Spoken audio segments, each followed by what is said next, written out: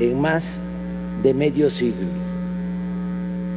Pienso, pues, que es el momento de terminar con el letargo y plantear una nueva y vigorosa relación entre los pueblos de América.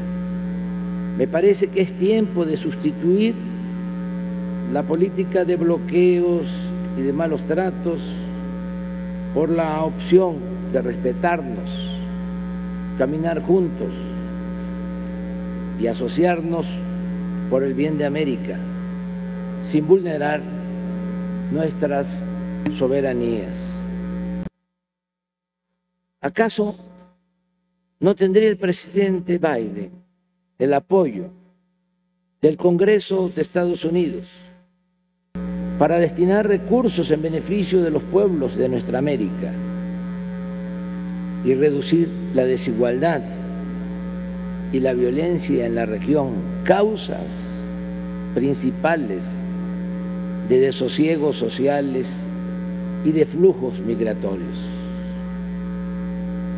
Imaginemos, por ejemplo, el gesto de buena voluntad que significaría otorgar vacunas a la mayoría de los países de América Latina y el Caribe que no han podido proteger a sus pueblos frente al COVID por falta de recursos económicos.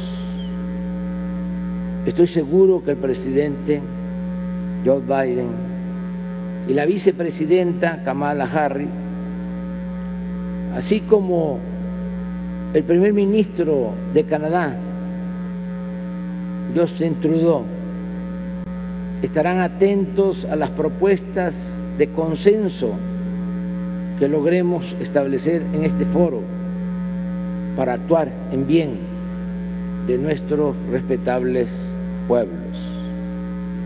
Bienvenidos y muchas gracias.